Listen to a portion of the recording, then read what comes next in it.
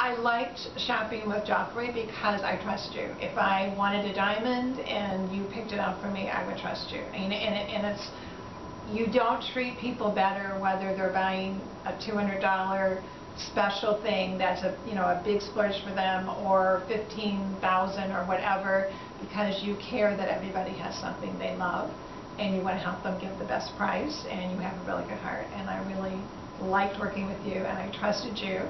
and if I ever needed advice or something, I would call you.